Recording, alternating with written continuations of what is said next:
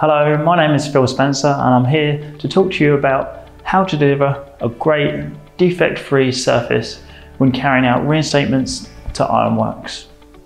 The emphasis in today's world is on keeping road networks and footways open and back to how it should be because it has an impact on safety, productivity, efficiency and the general well-being of society. The products we're going to be looking at are the Hardmaster W620 and the 6 21 polymer modified mortars for ironworks and frames. The PemaFyx L271 MMA based system used for small surface repair works. And lastly, the UltraCrack L275, a flexible jointing filler used between existing and new substrates. The W620 and the W621 Hardmaster mortar systems this is an environmentally friendly alternative to resin-based materials specifically formulated for bedding and backfilling around access covers in the harshest of environments. These mortars have superior compressive, tensile and flexural strength, making it ideal for high intense wheel track locations. They conform to a HA 104-09 and has all the necessary approvals for highways use exceptional performance even in wet conditions. And they are non-shrink materials with a minimal workable life of 15 minutes and can be trafficked after just one hour. The L271 is a cold applied MMA based surface dressing repair system. Given an outstanding, permanent and durable solution, is widely used on a highly trafficked location, a far superior alternative to cold or hot asphalts. So it's very fast cure with excellent adhesion, but also offers flexibility with adjoining substrates.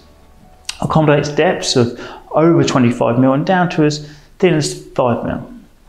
It's highly resistant to impact and maintains slip resistance for road safety. Finally, the L275. Again, it's a cold applied MMA based solution used to prevent water ingress between the existing substrate and the new substrate. There's also a flexible joint filler that accommodates for normal levels of substrate movement. It's a fast curing and can be applied in low temperatures giving a minimum disruption. And lastly, it is very strong, durable and resistant to impact. Now let's hand over to our expert demonstration team who will run through the steps involved with these applications in more detail.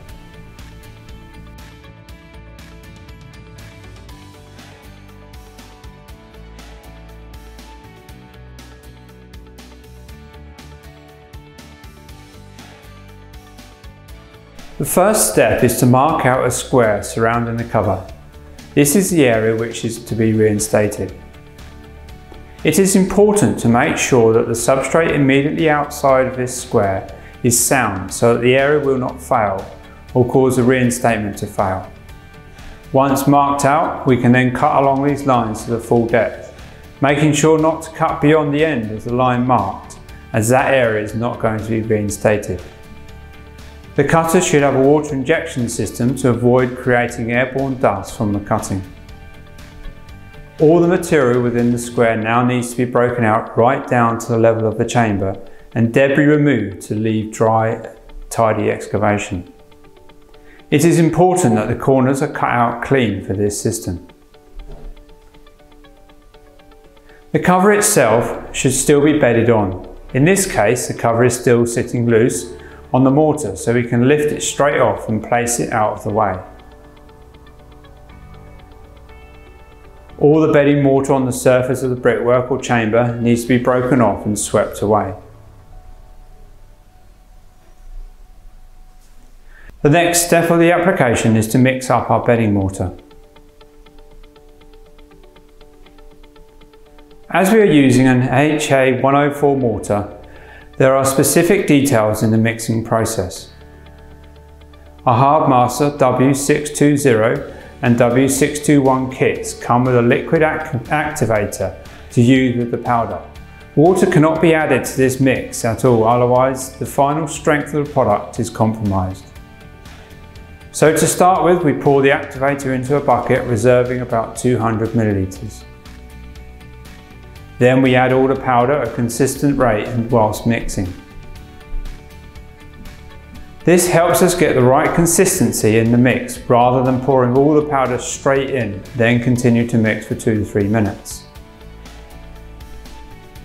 Initially the mix may seem too dry, but it's important not to add the rest of the activator until after a couple of minutes, as the mix will wet out for after a while.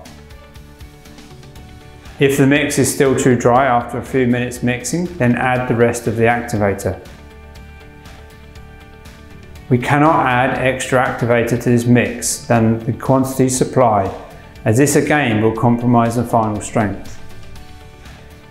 Once the mix is ready, we need to pre-wet the surface of the chamber to help the mortar adhere to it. Now the mortar is troweled out around the chamber, ready to bed the frame onto. In this application we are reinstating a drainage cover, so we are bedding it slightly below the surface to allow for water to run into it. For a normal cover it needs to be bedded level with the surface. Now that we have the manhole ready to reinstate, a key feature of this system is to allow movement without it resulting in failure. To achieve this we are going to include an expansion joint around the edge of the reinstatement. We use standard expansion joint foam with tear-off strip on the top, which is measured to the length of each edge and cut into strips. We then glue the strips onto the edge of the square we have cut, with the tear-off strip flush with the surface. To reinforce this frame to highway standards, we are now going to use the Hardmaster W621 flowable bedding concrete to fully set this frame in place. So we mix up the product using the same process as with the Hardmaster W620. We then pour out this product. We need to make sure it's poured out only from one position, which is the highest corner of the application. The reason for this is so that as the product flows around the frame and underneath it, pushes out all the air out, out in one direction and there are no air bubbles under the flange which can cause a failure in the future. We need to pour this flowable concrete until it reaches just over the flange of the frame, so it is holding it firmly in place. We now leave this to reach the initial set before backfilling. This should only take 15 minutes. Here we are going to use our Hardmaster W615 to backfill the manhole. The water is pre-measured and poured into the bucket and then we steadily add the powder whilst mixing and continue to mix for two to three minutes until we have a consistent mixture. The flowable backfill is then poured around the manhole to backfill it to a level roughly 40 millimeters below the surface. Now the concrete is left to fully cure which will take about 90 minutes. For the surface layer, it is a system we are going to apply PemaFyx L271. Our MMA surface repair product mixed with 6 to 10 mm aggregate, which will cure solid and will not settle once cured. To ensure we keep the ironworks clean, we mask the top ring using tape. We're now ready to mix the PemaFyx L271 MMA reinstatement material. Firstly, we need to freshen up the resin in the container by mixing it up. Once the resin is fully mixed up and refreshed, then we can add the aggregate. Slowly adding the aggregate, mixing in as aggregate is added, and mix until the aggregate is fully coated with resin. Once the aggregate is fully coated with resin, the mix is then ready for us to add peroxide adding the allocated volume of peroxide slowly into the mix and mixing in for a minimum of two minutes. Once this mixing process is complete, the mix is then ready to be poured around the ironworks. Once we've mixed that up, we pour it into the area and trowel out to create our smooth level surface.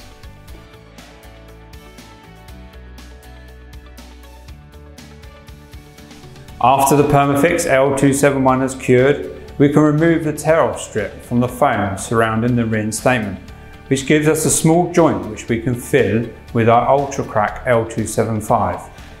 It is a flexible joint filler, again to allow for that movement in the road. We mix up the UltraCrack L275 by pouring the resin component into a bucket first and then steadily adding the powder whilst mixing. After mixing for two minutes, we're ready to fill the joint. The joint can be taped out to create neat edges, but this, in this application, we haven't taped the edges. We recommend applying the UltraCrack L275 using a funnel topped hand mould 40mm wide. We now have our complete reinstatement and the road can be open to traffic once the UltraCrack L275 has cured. Using these approved, tried and tested methods, Meon can guarantee you peace of mind, cost savings and a defect-free reinstatement. On our website www.meonuk.com the datasheets can be found and also a huge wealth of knowledge and resource in the form of case studies, how-to guides and frequently asked questions. If you'd like further information, a sample or a demonstration then please do get in contact. We're personally available to support you with your project. Call us on 02392 200 606 or email mail at meonuk.com. Thank you for watching.